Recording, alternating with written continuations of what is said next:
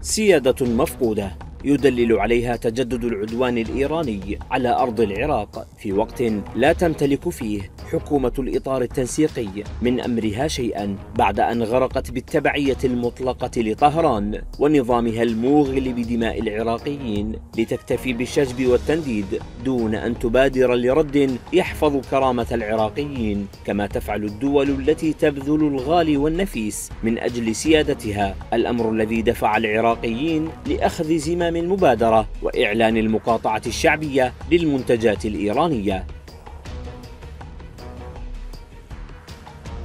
حملة كبيرة أطلقها ناشطون على مواقع التواصل الاجتماعي لمقاطعة المنتجات والبضائع الإيرانية التي غزت الأسواق العراقية بعد أن حولت طهران البلاد إلى مكب لسلعها الرديئة مقابل الحصول على العملة الصعبة وإنقاذ اقتصادها المتهالك وسط ارتفاع الأصوات لتجنب التعامل مع الشركات الإيرانية ومقاطعة السفر إلى إيران ردا على الهجوم الصاروخي الذي شنته إيران على محافظة محافظة أربيل شمالي العراق في اعتداء سافر على السيادة الوطنية.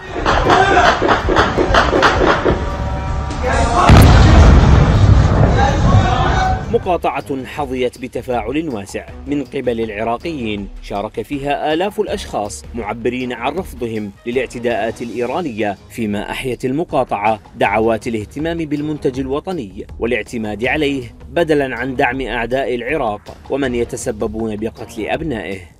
إيران التي تعتمد على أذرعها لدعم اقتصادها المتهاوي والتخفيف من آثار العقوبات الاقتصادية عليها تواجه سلاح المقاطعة الشعبي الذي أثبت جدارته في تكبيد قوى العدوان والاحتلال خسائر كبيرة كما حصل بعد معركة طوفان الأقصى في غزة. الأمر الذي سيشكل ضربة اقتصادية لإيران ويضعف نفوذها الاقتصادي.